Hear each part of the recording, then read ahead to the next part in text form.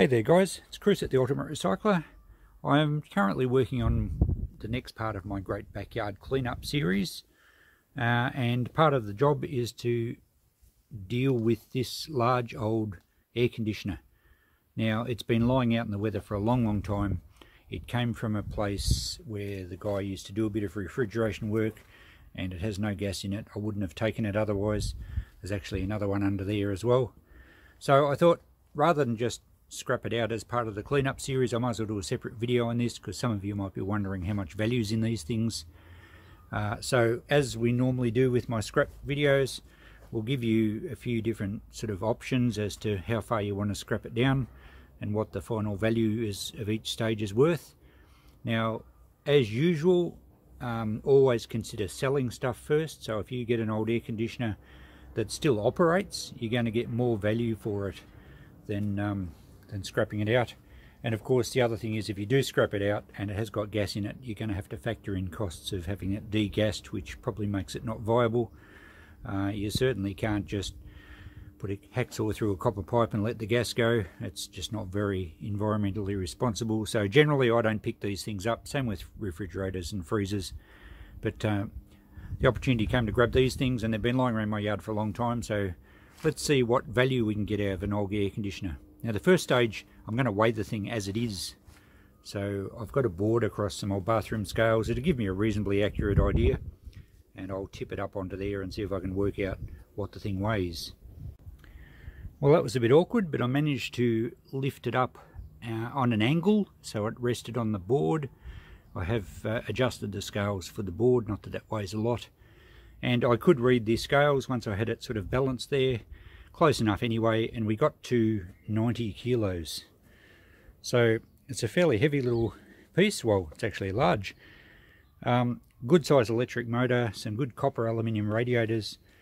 Uh, if we took that to the scrapyard just as dirty steel as dirty pressing steel uh, I don't know. You'd have to check with your scrapyard if they actually take them because of the gas issues but they should if you can demonstrate that there's no gas in it so at 90 kilos, we're looking at around about $9 just to take that in straight as it is. I reckon we can get much better value, but it depends how long it takes us to take it apart. So I'll start pulling it apart. I don't need to video all this. I'll time myself and we'll check back in in stages and see how we're going. As usual, let's break out the old notepad and keep a track of our options here. So dirty steel, 90 kilos approximately, we're working on around about 10 cents a kilo for dirty steel. It's going to fluctuate, depends where you're from and at what stage you're watching this video. Uh, $9. The only other thing we can add there is the cord, the power cord. Very easy to snip off, quite a heavy duty one. Um, I'm just going to estimate around about 20 cents. It's usually anywhere between 10 and 30 cents for a power cord. Plug has to be cut off it, but they're so easy to grab that really there's barely no labour. So $9.20 if we took that to the scrapyard as it is, assuming you could convince them to take take it with the uh, the gas issues. So let's start scrapping a bit further.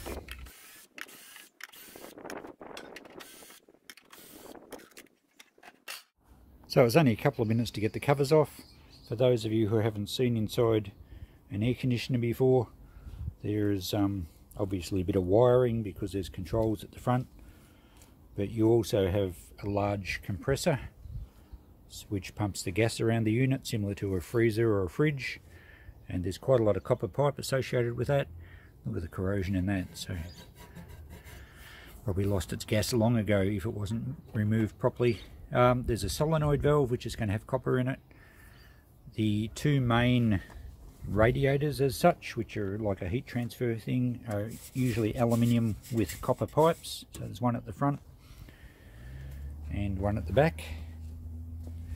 And they're quite large but they are contaminated with steel so we'll have to look at purifying those further down the uh, in this video. Um, more copper pipes uh, there's copper pipes running through that insulation material. We're going to generate a little bit of rubbish but most of the weight is in that large compressor. There's also a big electric motor in there that drives the fan and there's lots of um, just steel and the framework. So it's going to take a little while to get apart. It was only five minutes to get to this stage. Um, but I'll round up some tools and uh, I'm not going to be too gentle and we'll knock it apart as quick as we can just to get the main components for this stage of the video. Perhaps we'll start by cutting out the wiring loom. Now to get good price for our wire we don't want any plugs on it. I'm not going to unplug anything, I'm just going to cut the wire off neat at the back of the terminals. Get as much wire as we can and once we get that out of the road we can start taking some bits out. So I've got a little bit further here. Uh, I should mention with electrical items most uh, large machinery uh, or appliances have large capacitors in them which can hold a charge. So always put a screwdriver across the terminals. Um, if it's been used recently, this machine here hasn't been used for, oh God knows, it's been in my backyard for 10 years. So there's not going to be any issues there. But it's a good habit to get into just a shorter screwdriver across the terminals in case there is a charge in the capacitors. Um, they're really of no value they're actually plastic ones. Some of them are in aluminium cans, but there's really no value scrap-wise for them. Uh, so we've got the little control panel off, which I won't take apart any further at this stage. We'll just have a pile for dirty steel, uh, but we'll micro scrap a little bit further later and see if we can get any value out of it. So we're pretty well just up to the stage of cutting a few of the pipes. Now these compressors are steel, and the scrapyards do buy them because they've got an electric motor inside. Uh, I've seen guys do videos on cutting them open to uh, try and rescue the copper or at least the motor. Uh, to my mind that's just a dirty job that's not really worth the effort. Uh, I'll just be selling it and I'll price it as a compressor. Uh, so there's copper pipes going into it. Um, so we'll hacksaw those off next to the body to get the best value of copper we can and we'll start opening this thing up a bit more. I believe I may have just said hacksaw. Well you certainly can because copper's very soft but it's often awkward to get into these spots and why hacksaw when we've got one of these little babies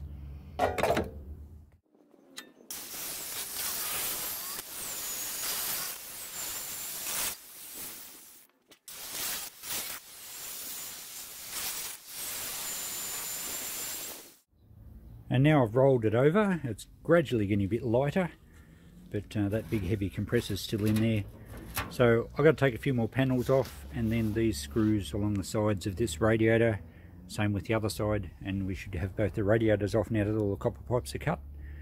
And uh, we shall then check back in and once we have the major components removed. So I've stopped scrapping the main piece now and I've still got the compressor in there and the electric motor but I thought well we'll stop with the best value stuff out of it which is the two radiators uh, we have a little bit of clean steel and we have our copper pipe and a bit of wire.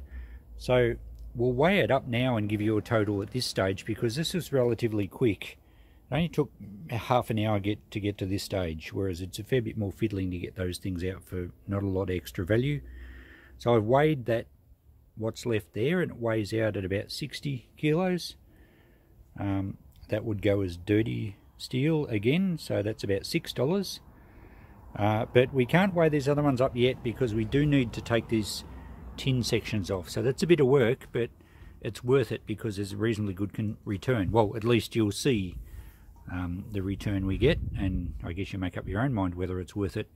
So at this stage of the scrap out, we've got $6 for the dirty steel. I haven't weighed up the clean steel. We'll probably only a couple of dollars here, if that, probably only $1.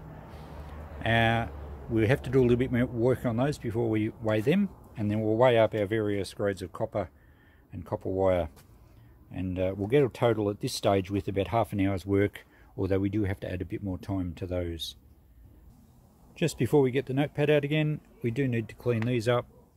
Um, now we've got to cut the ends off these to get rid of that steel and there's steel both ends, the mounting brackets which is galvanized steel uh, I'm going to use a hacksaw and cut just down the inside and then we can uh, lever these copper loops off the end.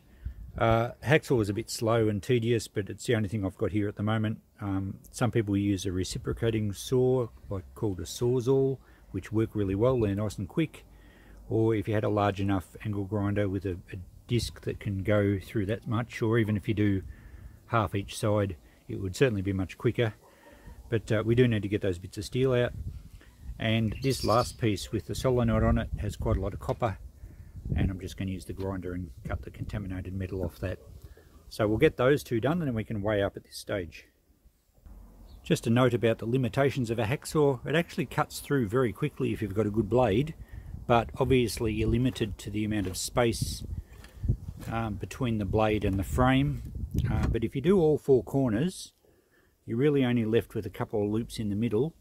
And now that I've cut through this section, I should be able to lever these loops off and then the frame will, will slip in far enough to get the center out. So look, it's not ideal, it's not the quickest way, but if you don't have the equipment, it's certainly a good option. You may have noticed the dripping. Um, the radiators do contain some compressor oil, as does a lot of the copper pipes, so put a towel down to soak it up if you don't want to contaminate your soil.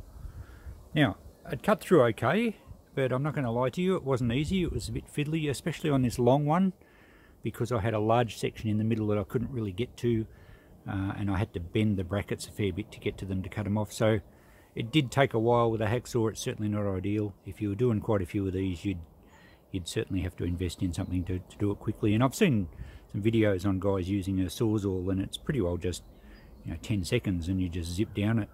So it'd be worth having a tool like that if you're doing a few of these. But at least I've shown you that you can do it. Now it took me about half an hour to clean everything up, so that's an hour total for this lot. Remembering that you would be able to do it quicker without the hacksaw option. Uh, the little um, solenoid valve came off okay. I just cut these bits off with the grinder. There was a metal bracket on there I ground off, which actually shows that that's brass. Uh, copper pipes I've cut off, and it doesn't matter if you put things in your brass bin that have copper, because brass is an alloy of copper anyway, and it's actually upgrading the quality of the load. The problem though with this bit is that a magnet test shows that there's still some sort of steel inside, and it's not worth cutting it open Likewise, this bit I got off the end of the solenoid, that bit, this bit has a piece of steel one end. So they'll just go in the bin for dirty brass. I won't allow any dollars for those because dirty brass doesn't pay very well. These other bits here have solder joins in them, so they'll just go in as what I call domestic copper, as does all the loops that we chopped off. Now, one end of them all had joins, which are soldered, the other ends were all fairly clean. Now you could possibly get away with putting them in the cleaner grade of copper. Uh, I'm not going to worry for the amount that's here and also they're, they're sort of oily, they've got that compressor all over them so they're not exactly a clean sample. So that'll go in with domestic, we'll weigh that up in a tick, as does this pile. There were a couple of nice clean pipes that could go uh, as a better grade of copper. Now it depends where you're from, it might be called um, number one copper or clean, bright and shiny, I think they used to call it when I was doing scrap years ago. Uh, perhaps Millberry, I'm not sure. But whatever, you'll know what grade it is in your area, but they're nice and clean, there's no corrosion, there's no solder, whereas the rest of it is corroded and there's joins and, and whatnot. So we'll weigh these up now and we'll get back to our notepad. We'll start with our insulated copper wire. Now I've included the main cord here, we allowed 20 cents for that earlier but there was some fairly heavy duty internal wiring. Now that added up to around about 400 grams and insulated copper wire is paying around 250 a kilo at the moment. So look, we'll allow a dollar for all that, working nice round figures. So we'll jot that on the notepad. Alright, so cord or and or wire, uh, we said around about a dollar. Now the copper itself, uh, I decided it's not worth weighing up these two cleaner bits separately just for the purposes of this uh, this way up. It won't make a huge amount of difference. Uh, number two copper or domestic coppers, I don't know, I'm guessing around $6 a kilo and the uh, number one's probably 7 so there's not a lot of difference. We'll work on, we'll be conservative, we'll work on $6 a kilo for the lot and we're just over 2 kilos so our copper will be two kilos will be $12 and now moving on to our clean copper aluminium radiators. Uh, I'll have to do them separately. This one's almost six kilos. And this one's a bit larger. We've got six and a half kilos. So that's 12 and a half. Let's call it 12 12 kilos. And the latest price I had on these, which was just this week, is $3.40 a kilo.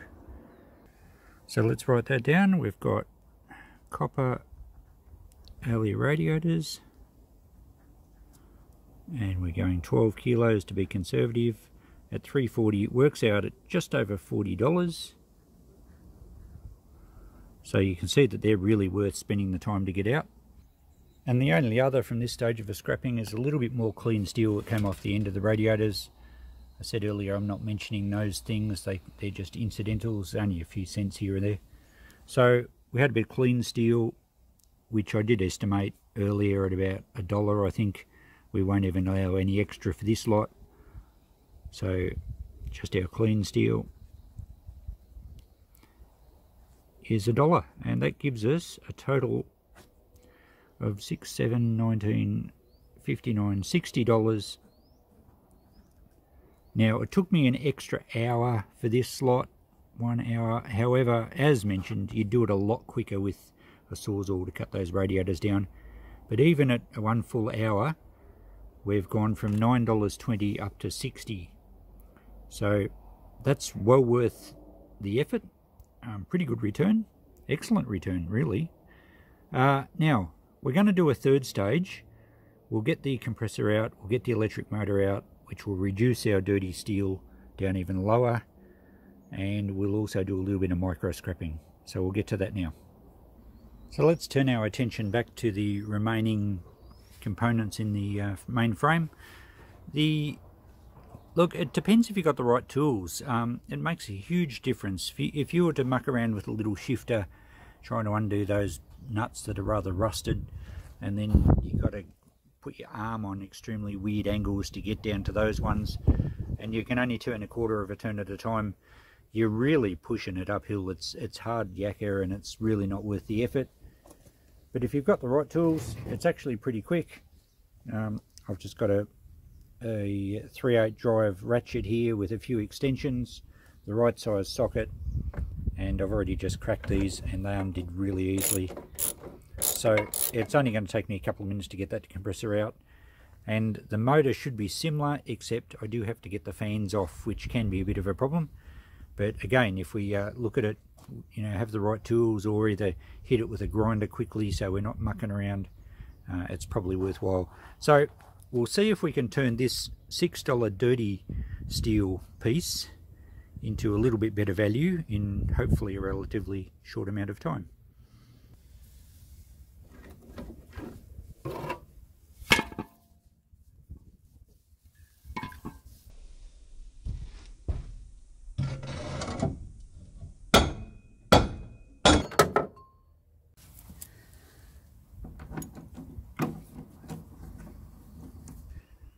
Trickiest part of this was to get the fan off the back of the motor. There's a little grub screw down there between the, um, the fins there and I've managed to get it out and I've sprayed a bit of uh, lube in there so hopefully we can belt the motor through now that the nuts are undone.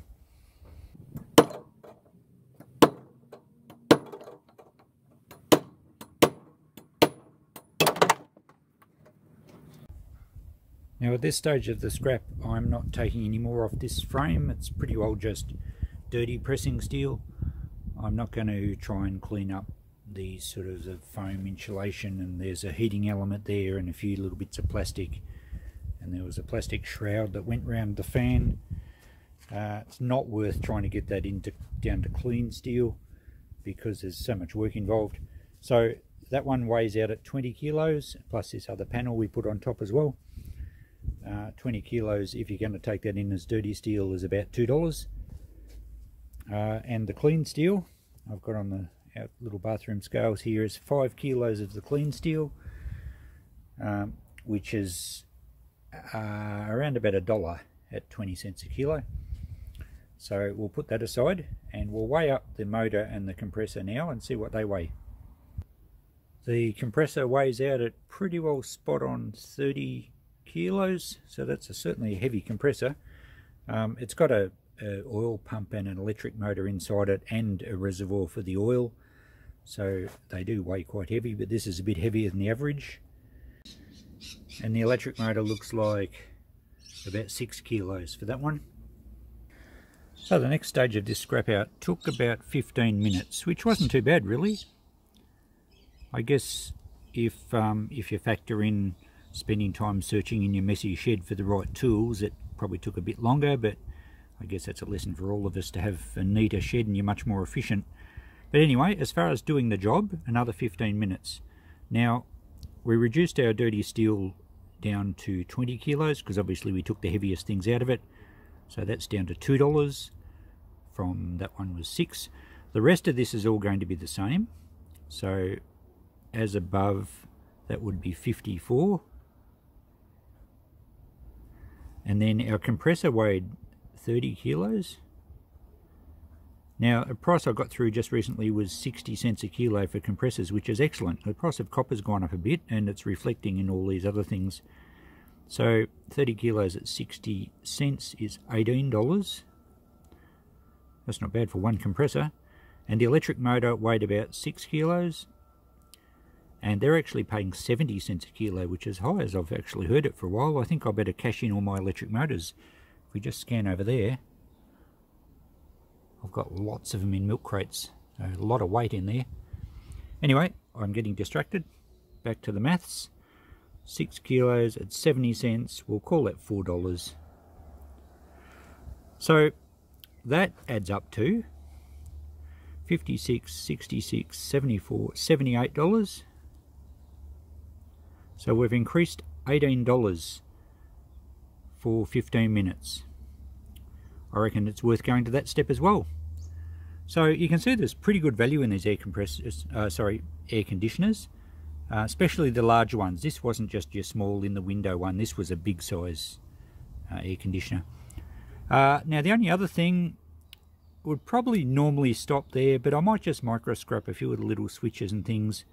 Uh, it's not going to really be worth it, but it depends what you're looking for, and I'm collecting silver contacts at the moment, so we'll see what's in some of the switches. Alright, so the final part of this video, I've moved inside now, so my sound quality's probably changed a bit. It's um, almost starting to rain outside and it's got a bit gloomy. So I've just scrapped out a couple of the switches and controls and that's a tub of all the screws that I saved that weren't overly rusty when I pulled the thing apart. There was one rocker switch that I'm going to keep and a little bit of um, clean steel there just from the switches. I also got a all the brass contacts, uh, terminals, I had to cut off all the wires, or earlier you saw me just trimming the wires off the backs of these. Well, I pulled them all off, plus a few bits of brass out of the switches. Um, it's worth putting together. Um, you've got to put it somewhere, and it might as well go in my tubs rather than in the bin. Uh, 65 odd grams. Brass is paying around about $5 a kilo. So that's going to equate to just a bit over 20 cents. So, you know, you wouldn't necessarily do this just for the brass, but because I'm pulling these apart for other things, um, yes, we may as well put that in our brass tub, another 20 cents. Now, the thing that I was chasing is I'm trying to stock up these silver contacts. Most old switches, or just about every switch, has a contact. And I'll do a separate video on these down the track. Uh, but at this stage I'm just accumulating and I would like to eventually um, refine them into pure silver and make my aim is to make a one kilo bar of pure silver. Now I've got a fair few of these in a jar already so we'll do a separate video on that down the track. Uh, dollar wise that really doesn't amount to much there but we will get more bits of brass off that. So I just enjoy pulling these little things apart. It's something I do in the morning when I have a coffee and uh, you know, it's kind of relaxing. And a lot of you I know scrap in front of the telly or YouTube. Um, if I'm watching one of e-waste Ben's two-hour marathon scrapping videos, uh, it's kind of nice to be doing something while you're sort of half listening, half watching. So I won't write down anything extra for this. It took me about, I don't know, probably 15 minutes. Um, so I'm not worried about the value for that. It's just something kind of enjoyable to do. But let's look at the sums to finalise this video. If we had to scrap the thing just for dirty steel, straight up, even saving the, saving the cord, we're not even 10 bucks. But look at the value we can get for really not a lot of time. Um, you may remember that we could have shortened that a lot with the right tools by cutting those radiators down. Uh, the 15 minutes there is, is was quite achievable. It's very easy to do. So if you've got the right tools available, it's not that difficult. And if something hasn't been lying around getting rusty in your yard for 10 years, it would come apart even easier. So really, we could probably surmise that back to an hour to uh, really make almost $70. Now in anyone's language, that's not bad dollars. Uh, the radiators are good value as you see saw they stack up nicely so when you get a load of those it'd be a good paying load copper's always good. So you know for the amount of space it takes up you can get pretty good value there. The wire not a great deal individually but when you're doing a lot of things it's amazing how quickly the tubs of wire do pile up. And the compressors and electric motors are paying well these days. So there you go. I hope you enjoyed this scrapping adventure. If you do get a chance to come across large air conditioners, as long as there's no gas issues, I would suggest grab them. Very good, thanks for watching. Look out for me in the next video.